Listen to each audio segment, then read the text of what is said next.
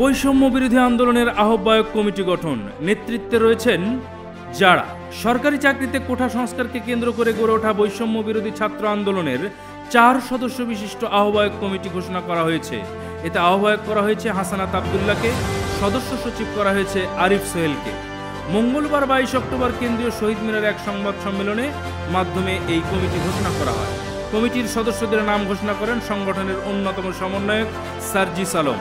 মুখ্য সংগঠক আব্দুল হান্নান মাসুদ এবং মুখপাত্র উমামা ফাতেমা।